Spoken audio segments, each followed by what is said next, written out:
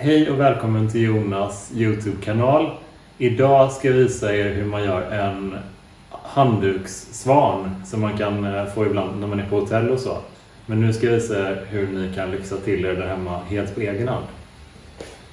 Gör ni först att ni lägger handduken på bredden så här.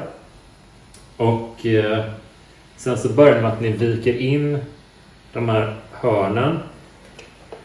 Så här. Så. Så det blir som en spets här.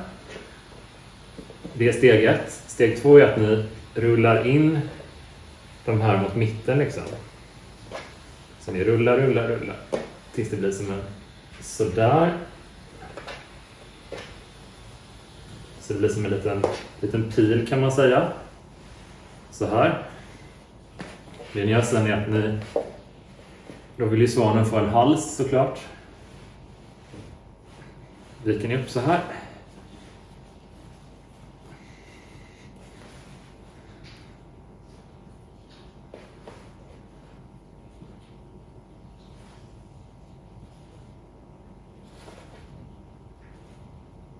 Sådär. Då är vi helt klara. Men eh, en svan vill ju inte vara ensam. Eh, så eh, jag har förberett en liten kompis till den här.